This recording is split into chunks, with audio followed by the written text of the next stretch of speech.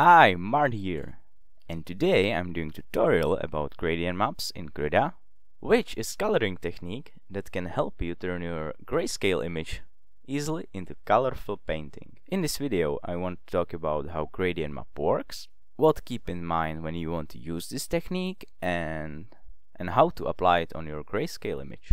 So let's get started.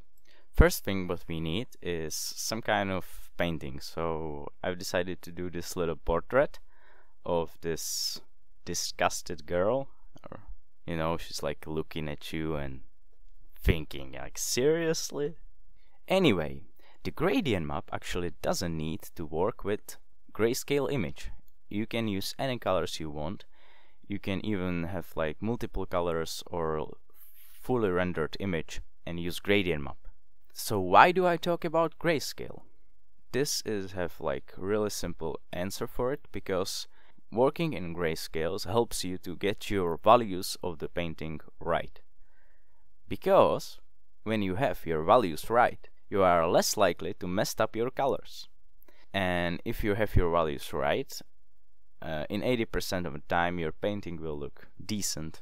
Another thing you have to keep in mind when you work with gradient maps is contrast because places on on your painting that you want to have different colors has to also have really different values. So for example as you can see I'm when I'm working with hair there's like really really big uh, contrast between hair and her face. So I want to make the hair totally different color than her face. Okay now when you are finished with your grayscale image it's time for some it's time for colors, and this is where gradient map comes handy. So, after you are sure that your values are right and you don't want to change anything else, you have to group up your layers or merge them into one because gradient map works on a single layer so it will only affect the layer that you have selected when you're applying the gradient map. So group up all your layers you want to apply the gradient map on so after you merge all of your layers, select the whole image and hit Ctrl C and create a new file from clipboard. Now with the resolution about 800 to 800 or something about that. Because what I figured out that when you have 800 to 800 you can still kinda see uh, your image. Like you can see what is on the image. And for gradient map it's like the best resolution in Krita to work like sorta in real time. Because if you have like these huge resolutions oh, like over 3000 it it takes about a minute just to show the result of the gradient map. So when you want to create a gradient map it's better to have lower resolution. So now we have our test file and we can actually create our gradient for the gradient map. To do so, you have to click on Filter, Map, and Gradient Map. And this little window should pop up. So what we got here, there are like some default gradients here, you can try them. If you're gonna like one of them, it's okay, but you can actually create your own and this is what we're gonna do now. So now click add. And this little custom gradient window should pop out. And with this like with this default from black to white gradient to add new colors you have to right click the gradient and select split segment. And every segment has like these three anchors. The left one right one right one and the middle one uh, the left one and the right one is just uh, shifting the segments like in in the gradient and the middle one is to uh, creating like a gradient curve. So you just if you want in the segment have like more colors from the right side you shift the middle one to the left side and the other way around. And under the gradient you have the left and the right color for each segment and you can change the colors by clicking on them. So now I'm just trying to find the right colors for my painting And in the meanwhile, I will explain a little bit more what these gradients actually means.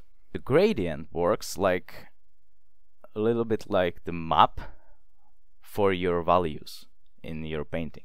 So on the left side of the gradient, this is the color for the black and on the right side is the color for white. So we are working in 8-bit colors, that means the gradient is actually 256 values and every single one of these values will map at the color you select here. So uh, for example, if, if I'm gonna select white at the left side and black on the right side, it will invert the colors in my grayscale painting.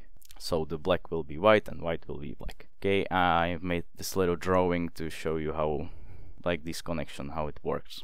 When you are working with your grayscale, it's really important to have on mind that when you're picking colors for this gradient, it's good to uh, it's good to stick up with your values.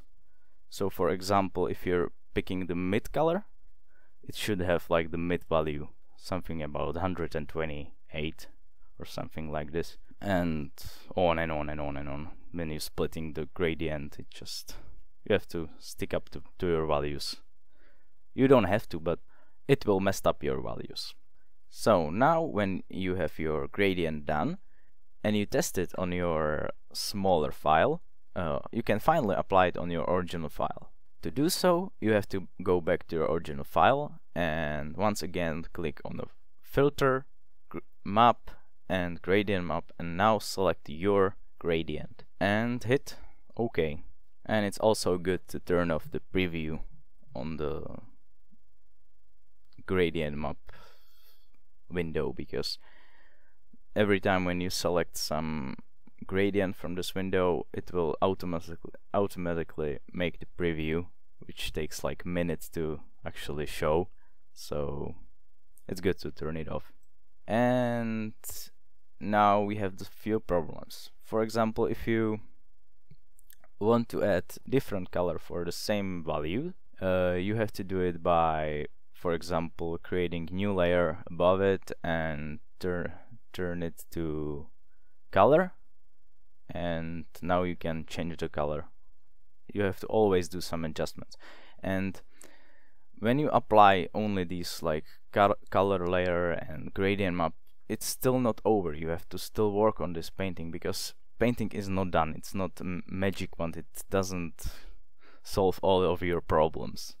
You still have to work on it. You still have to know your colors. You still have to figure out the lightning and highlight and stuff like this.